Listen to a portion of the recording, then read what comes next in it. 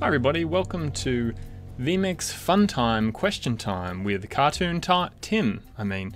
So, thanks for joining us. We're going to go through in these videos with some tutorial ideas that we've had from people that have emailed us uh, in the last week, or maybe on social media or something like that. So, that's what we're going to go through with this live video right now. So, I actually had a question. This is from Kevin Powell. He says, Hi, Cartoon Tim. Just wanted to say that I'm a big fan of the show and wish you the utmost success moving forward. I'm just wondering, why are there four numbers underneath each input? So, Kevin, thanks for your question. And now we're going to quickly explain what those numbers are that appear underneath each input in vMix. So, we're going to just head down the bottom here, and I'm going to jump on the old laptop, and we're going to go through what that actually does.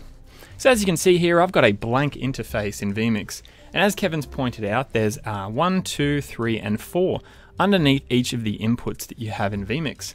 So we're going to go through and explain what that is. Now, first of all, we actually need some inputs.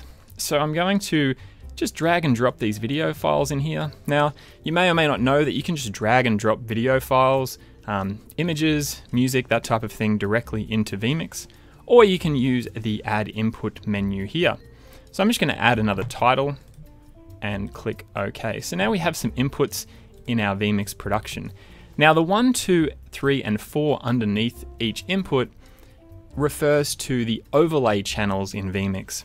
So in vMix, you're able to create areas on your, your output window here that overlay content. So overlay one of these inputs in different areas of your output. So that's really handy for things like titles or video files that you want to show picture in picture. So by default, I'm just going to quickly show you what an overlay channel looks like. So that's the title that's been displayed just briefly, and then it uh, will disappear from the output. So that's a full screen overlay of that title. So how do we set those overlays up? Well, down in the bottom right hand corner, there's a section called overlay. Now this is where you can find all of your overlay settings in vMix. Now up the top here, you'll see number one, which was the number one button that we had down here. That will um, be a full screen overlay. The effect, the transition effect will be a fade, uh, and then the effect duration will take half a second. So that fade will take half a second, and then the duration of the overlay will be three seconds. So that means that when I overlay that particular input, it's going to stay there for three seconds, and then it's going to fade away. Now we can make changes to this duration here by changing it to maybe two seconds, or if we wanted it to stay on there permanently and we manually turn it off, we can set that to zero, like so.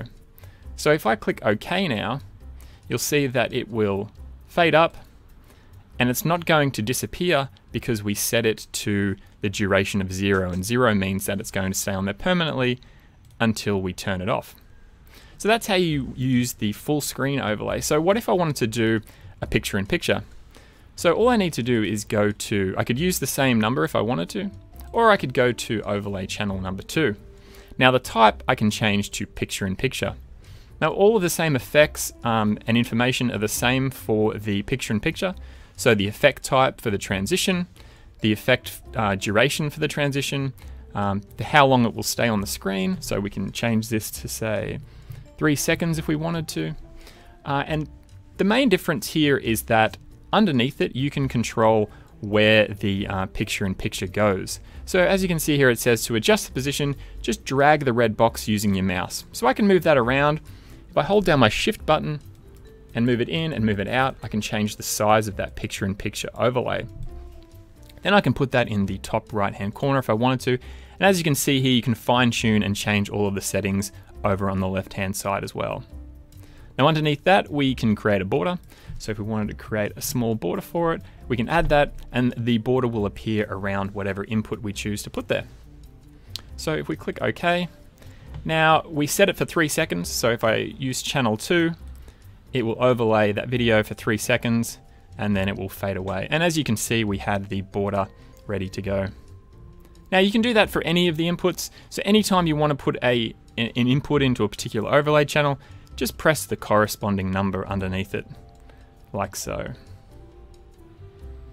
So that's how we can set up different uh, overlays in vMix. Uh, you can also move something into a preview. So let's just, for example, I'll change one of these overlays to a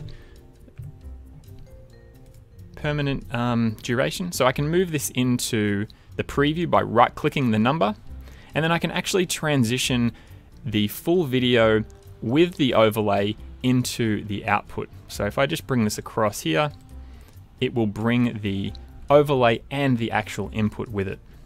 So that's something to keep in mind. Now, if I want to turn it off, I just turn off the number two button. Now, you don't have to press these tiny little buttons down here. It can get a little bit confusing and hard to see them, especially when I'm not wearing my glasses. Uh, but you can actually uh, set up shortcuts, so a button on your keyboard or a button on your MIDI controller or on an X keys to control those um, overlay channels. Or um, you can also set them up with triggers as well. So if I wanted to overlay a video file or a title after three seconds, I can use the triggers to set that up as well. So thanks for joining us on this uh, video. I'm just going to quickly uh, jump out here again. Now, if you had a question that you'd like, to, like us to cover on one of these tutorials, you can send us through an email, or you can leave us a comment on this particular um, video. So if you want to send through your very own email, um, you can send it through to cartoontim at vmix.com and we'll take a look at them and then we might be able to make a live tutorial video for you. So thanks for watching and uh, we'll see you on the next video.